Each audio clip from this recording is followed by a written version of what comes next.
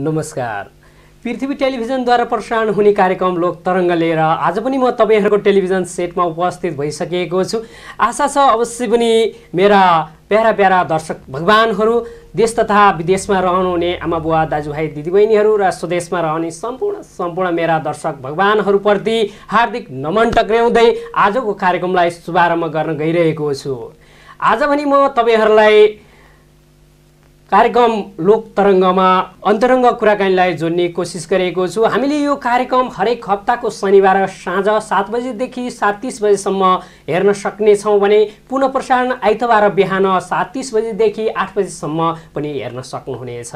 र तपाईँहरूले पृथ्वी टेलिभिजनको युट्युब च्यानल र फेसबुक पेज त्यस्तै गरी टेलिभिजन सेटबाट पनि एकैचोटि हेर्न सक्नुहुनेछ।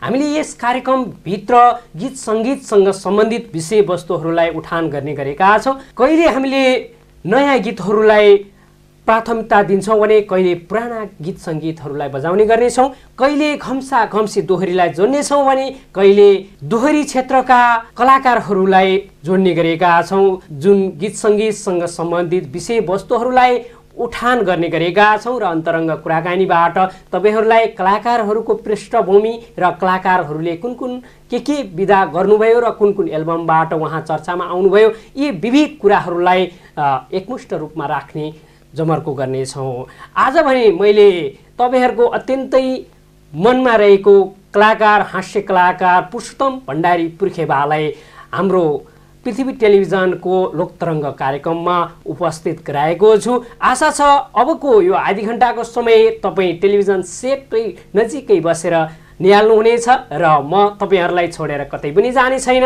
हाम्रो यो भलाकुसारीलाई अवश्य पनि सुनेर तपाईँहरूले आफ्नो जिज्ञासा मेटाउनुहुनेछ भन्दै म कार्यक्रममा पुरुषोत्तम भण्डारी पुर्खेवालाई स्वागत गर्न चाहन्छु। नमस्कार। धन्यवाद। तपाईँलाई विशेष गरी पृथ्वी टेलिभिजन हेरेर बस्नुभएका र विभिन्न युट्युब फेसबुक पेज मार्फत यो कार्यक्रम हेरेर बस्नु रहनुभएका सम्पूर्ण दर्शक श्रोताहरूमा म पुरुषोत्तम भण्डारी पुर्खे भएको हृदयदेखि नै नमस्कार टक्राउन चाहन्छु। अत्यन्तै व्यस्त समयका बावजुद पनि आज हाम्रो यो पृथ्वी टेलिभिजनको स्टुडियोमा तपाईँलाई ल्याउन पाउँदा हामी अत्यन्तै खुसी छौँ। पुरुषोत्तम भण्डारी पुर्खेबालाई धेरै दर्शक श्रोताले रुचाउनु भएको पनि छ। उहाँहरूको माग पनि पुरुषोत्तम भण्डारीको अन्तरङ्ग कुराकानी ल्याउनु भयो भने हामी पनि उहाँसँगको अन्तरङ्ग कुराकानीमा रम्ने थियौँ। उहाँका जीवनीबाट हामी पनि प्रभावित हुन सक्थ्यौँ कि भन्ने धेरै दर्शक श्रोताको माग पनि थियो। त्यसैका बावजुद आज तपाईँलाई हामीले यहाँ ल्याउन सफल भएका छौँ। ल्याउने एउटा जमर्को पुरा भएको छ। त्यसको लागि हामी अत्यन्तै खुसी छौँ। म विषयवस्तुतिरै प्रवेश गर्न चाहन्छु। विशेष त तपाईँलाई आज जीवनी तपाईँका जीवनी कसरी अगाडि बढे तपाईँले हिजो कुन धरातलबाट आज यो चर्चित कलाकारको रूपमा हुँदै गर्दाखेरि कसरी चाहिँ अगाडि बढ्नुभयो भनेर मैले आज तपाईँलाई केही जिज्ञासाहरू राख्ने जमर्को गरेको छु। सर्वप्रथम त म तपाईँलाई जन्मस्थान कहाँ रह्यो भनेर मेरो चाहन्छु। मेरो जन्म गुल्मी जिल्लाको रुरु गाउँपालिका वार्ड नम्बर दुई गोबन्दी। पुरानो ग्वादी गाविस वार्ड नम्बर छ गोबन्दी भन्ने ठाउँमा मेरो जन्म भएको अहिले बसाइ चाहिँ? बसाइ म चाहिँ काठमाडौँ छु। मेरो परिवार अहिले बुटोलमा हुनुहुन्छ। ए ठिक छ। गीत सङ्गीत त्यस्तै गरी हास्य कलाकार पनि हुनुहुन्छ। विशेष त कलाकारहरूलाई सुरुवाती चरणमा जुन गीत रेकर्ड गर्न गयो कुनै क्यारिकेचर गर्नु पर्यो होइन? यो क्षेत्र चाहिँ सुरु गर्ने क्रममा धेरै उताप चढावहरू आउने गर्छन् भन्ने धेरै कलाकारहरूको भनाइ छ। तपाईँलाई कस्तो रह्यो? होइन सुरुमा अब त्यसको क्षमता के हो त्यसको प्रतिभा के हो मान्छे नचिन्दासम्म नजान्दासम्म कुन ठाउँ जाने हो कहाँ जाँदा ठिक हुने हो होइन? ती हरेक कुराहरू मान्छेलाई एउटा त्यस सम्बन्धी ज्ञान पनि हुँदैन होइन? तपाईँ टेलिभिजनको कार्यक्रम चलाउँदै हुनुहुन्छ वास्तवमा अझै यसलाई निखारता ल्याउन कहाँ के कसरी गर्नुपर्छ भनेर तपाईँ पनि त्यसमा कुराहरू मनमा बोक्नु भएको छ। त्यसो भएर सुरुवाती चरण भनेको एउटा सबैभन्दा पहिला त्यसमा सोच। आफूमा एउटा सोच म यो बन्छु भनेर लागिसकेपछि चाहिँ सक्न चाहिँ सकिन्छ। अब काममा त हरेक कुरामा अप्ठ्याराहरू दुःखहरू त हुन्छन् नै। यो तपाईँ सुरुमा लाग्दाखेरि कुनै कलाकारहरूसँग प्रभावित भएर लाग्नुभयो कि तपाईँको बच्चैदेखिको यसमा चाहिँ इन्ट्रेस्ट विषय हुन्छ? तपाईँको चाहना चाहिँ त्यही भएर अगाडि बढ्नुभयो कि कस्तो रह्यो? म हाम्रो गाउँ भण्डारी गाउँ हामी गाउँमा सबै भण्डारी मात्रै थियौँ धेरै थिएन पन्ध्र बिस घर मात्रै हो हाम्रो गाउँ। अनि गाउँमा के गर्थ्यौँ भने छ सात कक्षा पढ्दाखेरि गाउँमा बोलाउने चलन हुन्थ्यो। कसैको घरको साइडमा गएर महिलाको आवाज गराएर पल्लो घरको आन्टीले पल्लो घरको आन्टीलाई बोलाए जस्तरी म जिस्काउँथेँ सानो सानोमा अनि अलिक उटप्याट्याङ गर्ने बानी चाहिँ हो। अनि त्यो सँगसँगै म चाहिँ कक्षा आठमा पढ्दा एउटा जिल्ला स्तरीय नाटक सडक नाटक प्रतियोगिता भएको थियो। त्यसमा म उत्कृष्ट पात्रको रूपमा छनौट भएँ। त्यसपछि ल गर्नुपर्छ कि हो गर्न सक्छु क्या हो भन्ने पनि भयो। कक्षा बाह्र एघार र बाह्र मैले सत्यवती गाउँपालिका अस्लेवाबाट मैले त्यो सम्पन्न गरेँ। त्यहाँ गर्दा पनि त्यहाँका कार्यक्रमहरूमा भाग लिन्थेँ। तर तीव्र मेरो इच्छा भनेको के हो भने रेडियोमा कार्यक्रम चलाउने चाहिँ त्यति बेला रेडियोको क्रेज पनि अत्यन्तै राम्रो थियो। रेडियोका हरेक कार्यक्रमहरू विज्ञापनको पनि र तर नछुटाइकन म सुन्थेँ। अरू कार्यक्रमको त कुरै छडिदिनुहोस्। होइन?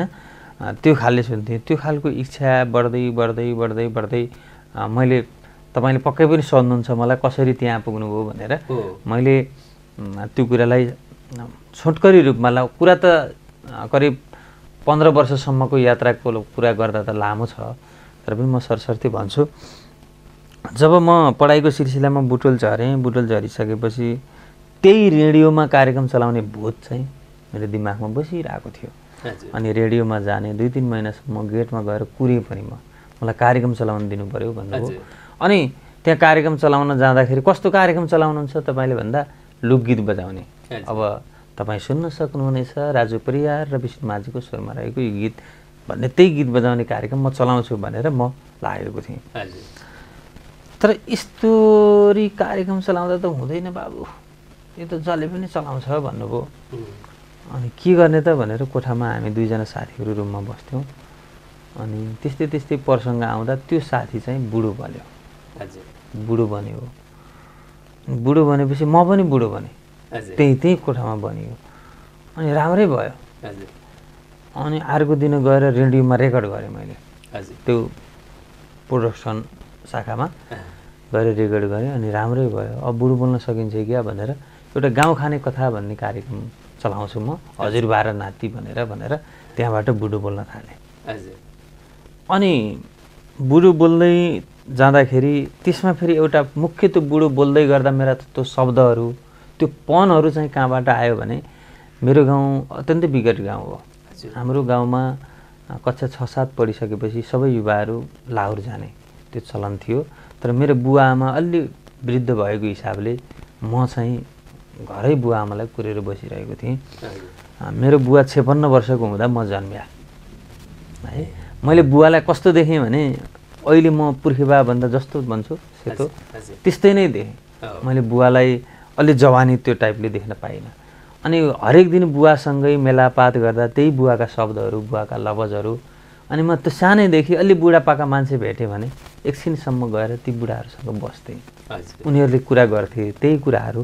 अहिले म उनीहरूले गर्ने कुरा उनीहरूको सोच र उनीहरूले उनीहरूमा परेका अप्ठ्याराहरूलाई ल्याएर मैले त्यो कार्यक्रममा रेडियोको कार्यक्रममा जोड्दै जोड्दै लान थालेँ। त्यसपछि बिस्तारै बिस्तारै रेडियो लुम्बिनी अनि बुद्ध टेलिभिजन लुम्बिनी टेलिभिजन हुँदै म काठमाडौँमा एनटिभी प्लसमा झन्कार सङ्गीत संवाद कार्यक्रममा गएँ। तर सोचेको थिएन सायद त्यो रेडियोमा पस्दाको दिन म अहिले एउटा पुर्खे भएको हिसाबले यसरी कार्यक्रममा हिँड्छु होला कलाकारिता गर्छु होला भन्ने सोचेको थिएन। त्यतिखेर रहर थियो अहिले पेसा बनेको छ। अब को- कोरोनाले कति बेला पेसालाई अप्ठ्यारोमा पनि पारिदिन्छ। सिक्दैछु बुझ्दैछु हिँड्दैछु। गर्न त अझै पनि केही सकेको छैन तर सिक्दैछु।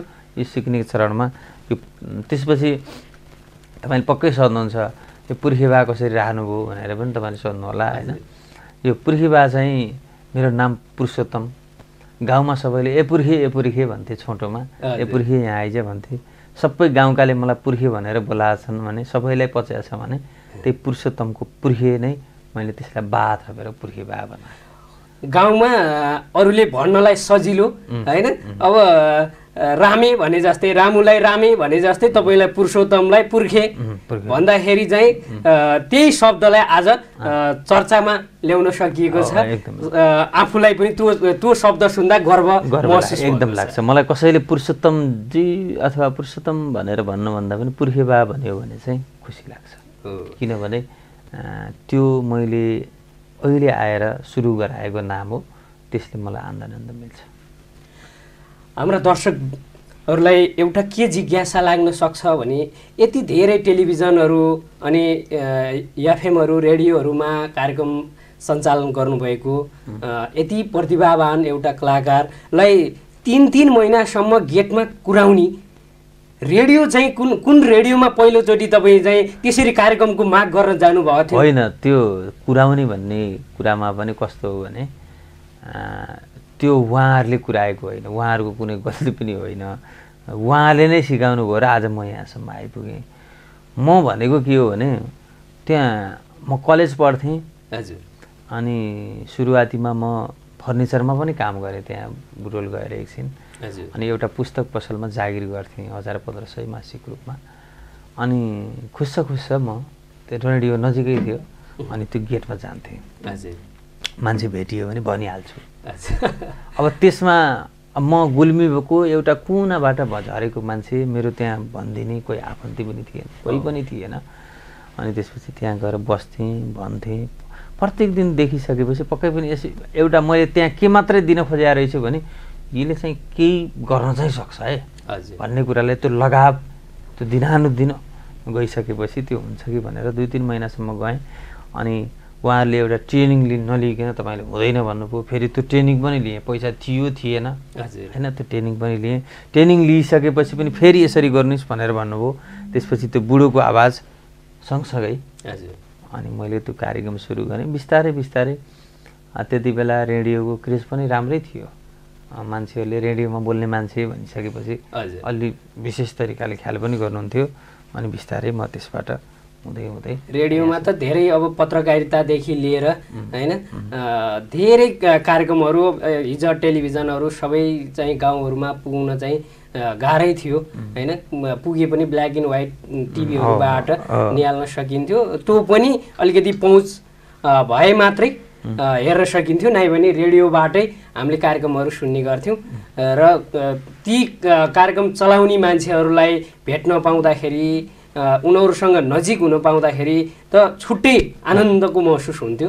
अवश्य त्यो चाहिँ एउटा सुरुवाती चरणमा तपाईँको समस्या हाम्रा समस्या यो हाम्रा दर्शकहरूको समस्या पनि सायद मिल्दोजुल्दो छ होला।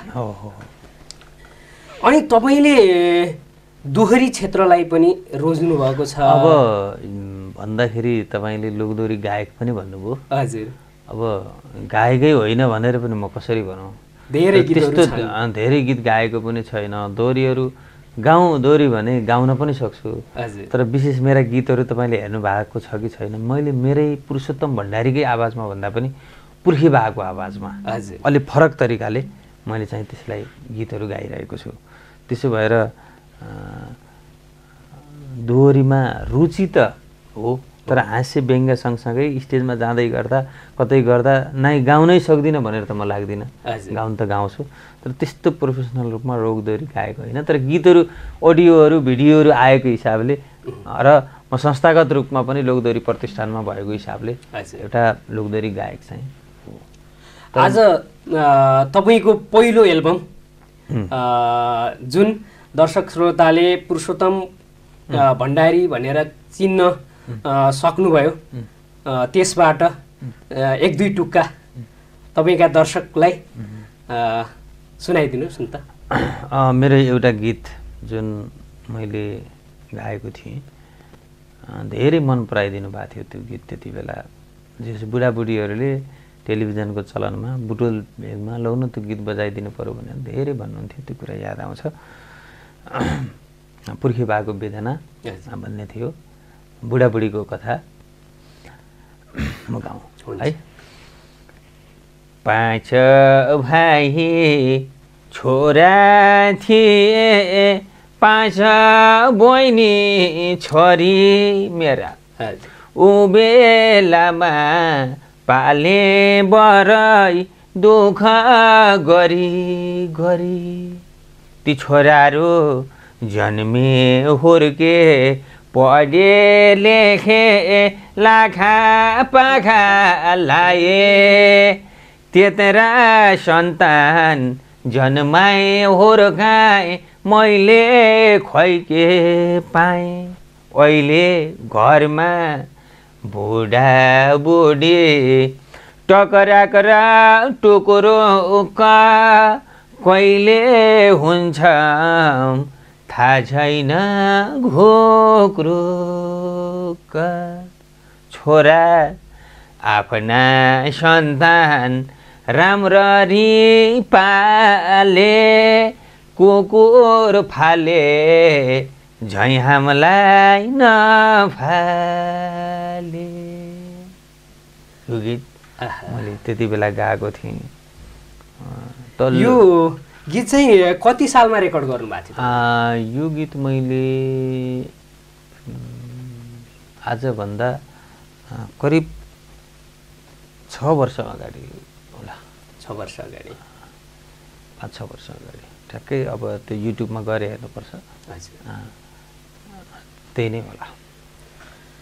तपाईँले यो गीतहरू यो दोहोरीका गीतहरू जस्तै अब यो बुढाबुढीहरूका एकदम वेदना गाउँमा अनि सहरमा आफ्ना बाआमालाई जुन छोराछोरीले गरेका व्यवहारहरूलाई टपक्क टिपेर एउटा एल्बमको रूपमा तयार गरेर दर्शक श्रोतालाई ल्याउनु भएको छ। अत्यन्तै धेरैजनाले रुचाउनु भएको पनि छ। अब अबका गीतहरू। तपाईँलाई मैले एउटा के सोध्न चाहेँ भन्दा अहिले हाम्रो गीत सङ्गीतमा थोरै उताप चढाव जस्तो पश्चिमी संस्कृति अलिकति छाडापन आएको जस्तो पनि महसुस भएको छ। तपाईँले यसलाई कसरी हेर्नुभएको छ?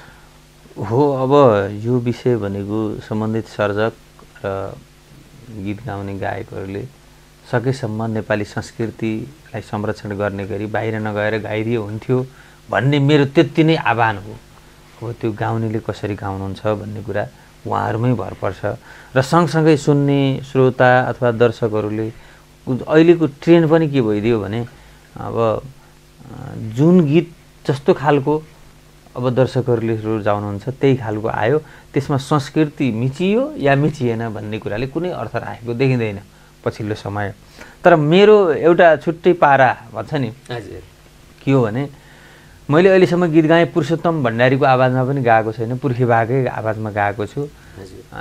मेरा भ्युर्सहरू भ्युजहरू भर्खरका युवाहरूले होइन बच्चा बच्चीहरूले भन्दा पनि बुढा बाआमाहरूले हेर्ने गीतहरू हुन् मेरा। हजुर।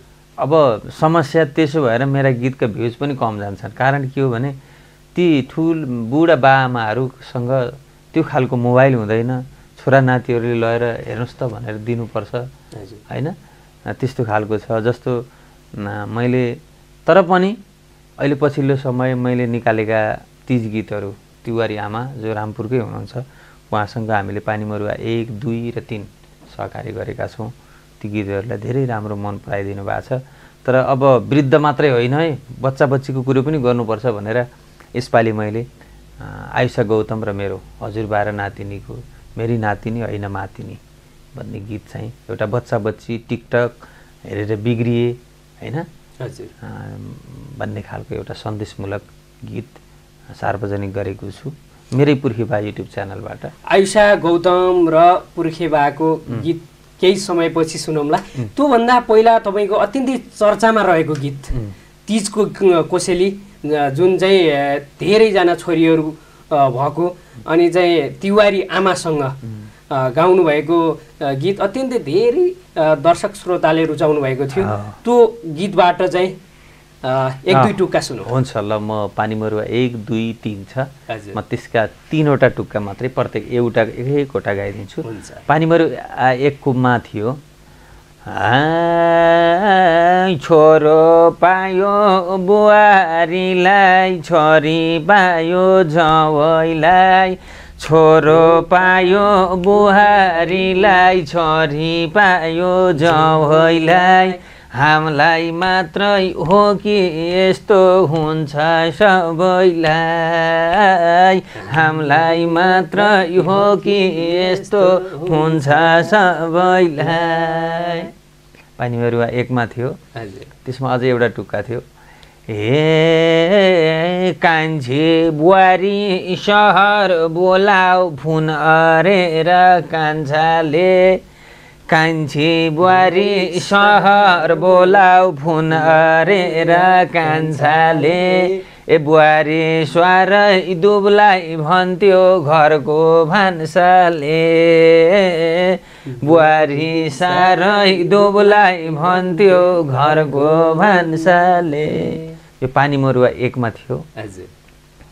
अनि त्यसमा दुईमा चाहिँ छोरीहरूको सम्झना स्वरूप हजुर। होइन? हे जेठी छोरी दुख्याई हो। कहिल्यै सुख पाइ होइन ए दुखै दुखमा हुर्केकी हो राम्रोलाई होइन यो भाग र एक र दुईको चाहिँ मेलोडी लगभग एकै थियो तिनमा पनि हामी सँगै सहकार्य गरेका थियौँ तिनमा थियो छोरा छैनन् भनेर रुनी कुरा झुटै हो छोरा छैनन् भनेर रुनी कुरा झुटै हो। चार भाइ छोरा भए पनि बस्ने छुट्टै हो। चार भाइ छोरा भए पनि बस्ने छुट्टै हो। यो तिज गीत उम्, पानी मरुवा एक र दुई अनि तिनबाट तिवारी आमा र मैले गाएका छौँ। जसलाई धेरैले मन पराइदिनु भएको छ। म अझै पनि भाग चार पनि हामी ल्याउँछौँ। एकदमै तपाईँहरूको साथ सपोर्ट माया पाउँछु भन्ने आशामा छु यो गीत अत्यन्तै तपाईँको चाहिँ छोरीलाई परेका पीडा छोरा पाएर पनि आखिरमा चाहिँ छोराहरू आफू सेटलमेन्ट हुन्छन्. र बुढाबुढी चाहिँ छुट्टै बस्ने हो होइन? आफ्नो बुढाबुढीको पीडा बुढाबुढी माथि चाहिँ रहन्छ भनेर खुलाउन खोज्नुभयो। यो अब यो कस्तो हो भने सबै छोराहरू त्यस्ता होइनन्। हजुर। सबै बुहारीहरू त्यस्ता होइनन्। गाउँमा बसेर एउटा जीविकोपार्जन गर्न गाह्रो छ। हो। होइन? त्यसो भएर छोराहरू कमाइका लागि विदेश जानुपर्छ राम्रो पढाइका लागि राम्रो स्कुल खोजेर बुहारी पनि जानुपर्छ होइन? अब तर कतै कतै नियोजित रूपमा पनि त्यस्ता घटनाहरू घटेका छन्। तर ती गाउँमा बस्ने बुवाहरूको मनमा चाहिँ यही कुरा सधैँ खेलिरहेको छ। उहाँहरूलाई यही खालको समस्या परेको छ। तर छोराहरू गलत हुनै भनेर मैले यसमा पुष्टि गर्न खोजेको चाहिँ होइन। त्यो भोलि उहाँ गएर छोराहरूले नकमाए अनि कसरी धानिने त्यो पनि एउटा गाह्रो विषय छ। कताकै छोराहरूमा त्यस्तो देखिएको छ यो हुन भएन है भनेर सन्देश दिँदै एकदम एकदम एकदम। अत्यन्तै खुसी लाग्यो। हामीले केही समय अगाडि यही कार्यक्रममा हाम्रो तिवारी आमालाई तपाईँले ज जोसँग सहकार्य गरेर यी तिनवटा भागहरू एल्बमको रूपमा ल्याउनु भयो उहाँलाई पनि हामीले लिएर आएर उहाँसँग पनि अन्तरङ्ग कुराकानी गर्ने एउटा अवसर मिलेको थियो। उहाँसँग पनि यी यी गीतहरू धेरै मिठो लाग्यो। त्यसैले आज फेरि तपाईँलाई पाउँदाखेरि पुनः त्यो गीत चाहिँ एकपालि मेरा दर्शक श्रोता तपाईँका दर्शक श्रोता सबैले यो चाहिँ हेरेर आनन्द लिनुहुन्छ मनोरञ्जन लिनुहुनेछ भन्ने आशामा छु। तपाईँलाई गीत सङ्गीतमा जसरी यी दुःख यी चाहिँ घटनाक्रमहरूले प्रभावित पारेर यसरी अगाडि बढ्नुभयो। अब आउने पिँढीलाई यदि तपाईँसँग सहकार्य गर्न या चाहिँ तपाईँको साथ खोज्यो भने तपाईँले कसरी तिनीहरूलाई चाहिँ व्यवहार गर्न सक्नुहुन्छ तपाईँले? होइन अब मैले कसैलाई मेरो तर्फबाट गर्न मिल्ने सहयोग। हजुर। के गर्नुपर्छ? त्यसका लागि म मरेरै लाग्छु गर्नु गर्छु त्यो मेरो धर्म पनि हो। मेरा लागि पनि हिजो कोही अभिभावक हुनुहुन्थ्यो। हजुर। उहाँहरूले गर्नुभयो म यहाँ आएँ भने मैले पनि त्यो गर्नुपर्छ। यो हामी नेपाली संस्कार पनि हो. होइन? अब अहिले नयाँ लाग्दै गरेका भाइ बहिनीहरूलाई अहिले पछिल्लो समय प्रवृत्तिले अत्यन्तै माथि पुर्याएको छ। हजुर। हाम्रा पाला म रेडियोमा गएर कुरेँ भने नि म रेडियोमा नगएर बाटोमा गएको भए अवसर अरू थिएन। अहिले टिकटककै माध्यमबाट पनि। आफ्ना कलाहरू राख्न सकिने अवस्था छन्।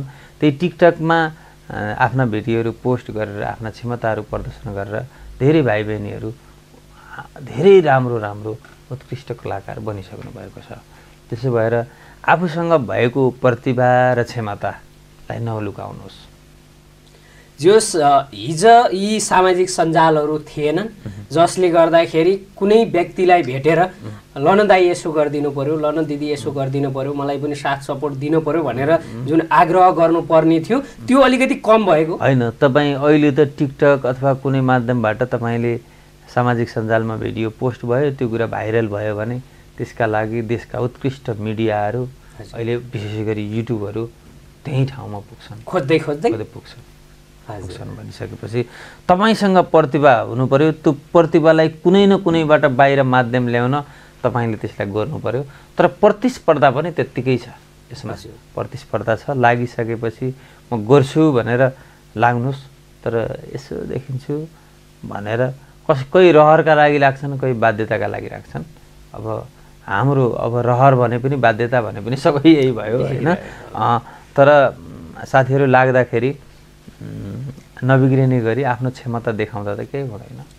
तर अहिले एउटा समस्या जस्तो मैले पनि देखेको छु नयाँ नयाँ कलाकारहरूले एल्बम गर्नुहुन्छ अनि युट्युबमा पनि डाउनलोड हुन्छ।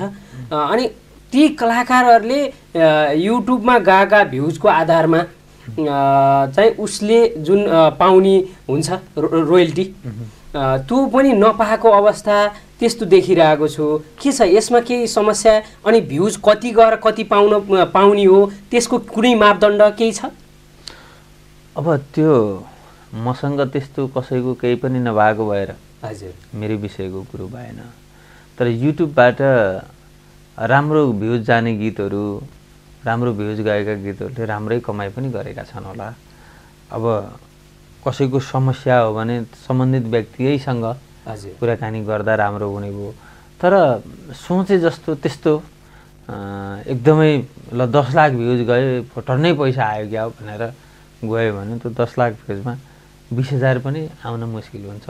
अहिलेको अवस्थामा एउटा गीतै गर्न पनि सामान्य खर्च त कति गर्ने हो त्यति गर्न सकिन्छ। तर न्यूनतम एउटा भिडियो गर्न पनि असी हजारदेखि एक लाखसम्म त जस्तो भिडियो गरे पनि त्यो भिडियोलाई युट्युबसम्म ल्याउनु लाग्छ होइन?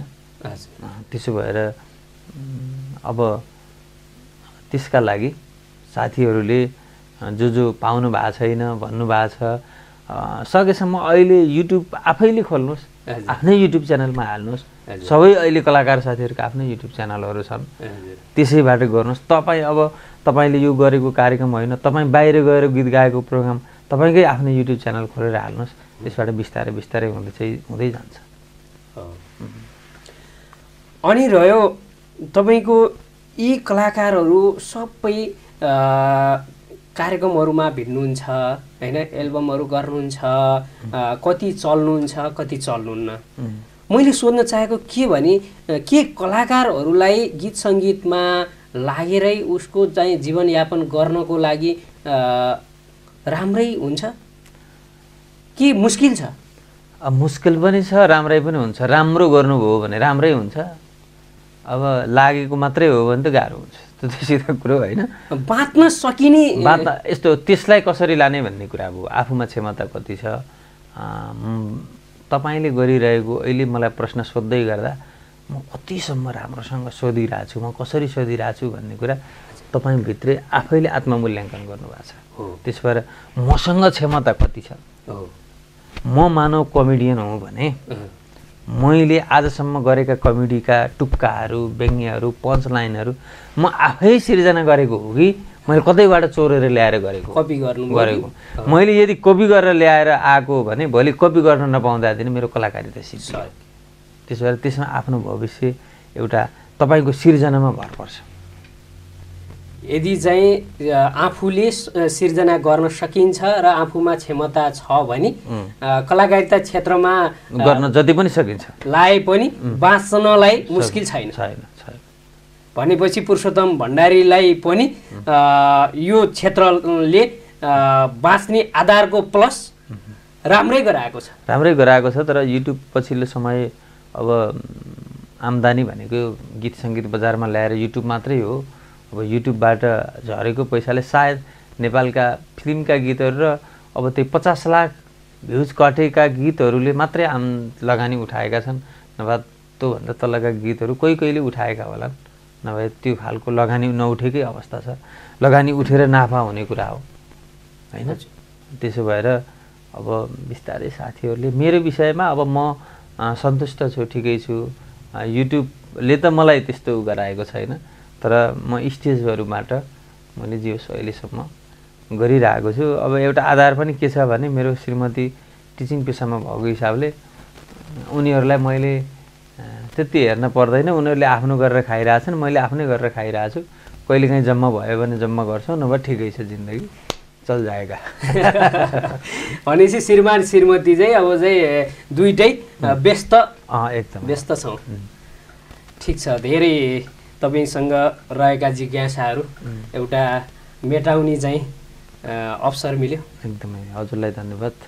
गीत सङ्गीतको यो माहौल गीत सङ्गीतका कुराकानी हाँस्य कलाकारका पीडा हाँस्य कलाकारिता क्षेत्रमा लाग्ने एउटा चाहिँ प्रेरणाको स्रोत। पुरुषोत्तम भण्डारीज्यूको मुखबाट। अहिले तपाईँको पछिल्लो समय बजारमा आएको नातिनी हजुरबाउको जुन गीत छ त्यो गीत एकचोटि दर्शक श्रोतालाई सुनाइदिनु पर्यो। अँ, यो गीत मैले र आइसा गौतमले गाएको गीत हजुर। जसमा अभिनय पनि हामीले नै गरेका छौँ। यो विशुद्ध एकचोटि तपाईँहरूले मेरो आवाज सुन्दै हुनुहुन्छ भने बच्चा बच्चीहरूलाई यो गीत देखाउँदा खासै अप्ठ्यारो पर्दैन। यसको कथा पनि विशेष गरी अहिलेको बच्चाहरू टिकटक मोबाइलबाट टाढा नबनेको अवस्थामा छोरा र बुहारी विदेश यहाँ हजुरबा हजुरआमाले बच्चा हेरेर बस्दा हजुरबालाई नटेरेको बिग्रेको घटनालाई मैले गरेको छु। गाउँ है। हे एक महिना भयो स्कुल गएकी। ए भत्ताको पैसो सरल कैसकी ए मेरी नातिनी होइन मातिनी। ए मेरी नातिनी होइन मातिनी। ए मेरी नातिनी होइन मातिनी। अनि नातिनीले भन्छन् सय रुपियाँ मलाई दिनुहोस् न आज। मोमो र चाउमिन खान्छु के खाजा। ए टिकटक बनाउने पैसा कमाउने ए टिकटक बनाउने पैसा कमाउने ए मोमो खान्छु के स्कुल जान्छु के। अत्यन्तै समय सान्दर्भिक गीतहरू रहेछन्। जुन गीतले अहिले बच्चा बच्चीहरू विशेष त टिकटकमा भुल्ने अनि चाहिँ पैसा घरको खाजा खाने पैसा भन्दा पनि घर खाने भन्दा पनि बजारमा गएर चाउमिनहरू मोमोहरू खान। पाउँदाखेरि खुसी हुने यी कुराहरूलाई समेटिएको गीत रहेछ। एकदमै एकदमै ठिक छ अत्यन्तै व्यस्त समयका बावजुद पनि आज हाम्रो यो पृथ्वी टेलिभिजनमा कार्यक्रम लोक तरङ्गलाई समय छुट्याइदिनु भएकोमा यहाँलाई धेरै धेरै धन्यवाद दिन चाहन्छु। जाँदा जाँदै तपाईँका दर्शक श्रोताहरूलाई के भन्न चाहनुहुन्छ? विशेष त मलाई यो बोल्ने अवसर तपाईँहरूले प्रदान गर्नुभयो यो गीत हान्नुभयो र यो पृथ्वी टेलिभिजनको यो कार्यक्रममा मलाई ठाउँ दिनुभयो। त्यसका लागि तपाईँ लगायत सम्पूर्ण टेलिभिजन परिवारलाई म धन्यवाद दिन चाहन्छु र मलाई चिन्ने नचिन्ने सम्पूर्ण दर्शक श्रोताहरूलाई मेरो तर्फबाट हृदयदेखि नै नमन टक्राउन चाहन्छु। तपाईँहरू भनेको भगवान् हो। तपाईँहरूले नै गर्दा म आज यो ठाउँमा छु छु भने कुन ठाउँ हो? तपाईँहरूले नै दिनुभएको ठाउँ हो। र सकेसम्म राम्रो कुरालाई भन्दा पनि नराम्रो कुरालाई यहाँ बिग्रियो है पुर्खे बा भनेर भनिदिनु भयो भने मलाई अगाडि बढ्ने हौसला मिल्छ। त्यसो भएर सुझाव सल्लाहहरू दिनुहोला। मेरो पुर्खिबा युट्युब च्यानल छ। त्यसमा गएर तपाईँले मेरा गीतहरू हेर्नु भएको छैन भने हेर्न सक्नुहुनेछ। र यही खालको माया अझै यो मायालाई अझै प्रगाड बनाउन अगाडि बढाउँदै जानुहोला भन्न चाहन्छु। र फेरि पनि यो अवसरका लागि तपाईँ हाम्रो सागरजी हामी जति पनि यहाँ साथीहरू छौँ टेलिभिजन परिवारलाई धन्यवाद दिन्छु।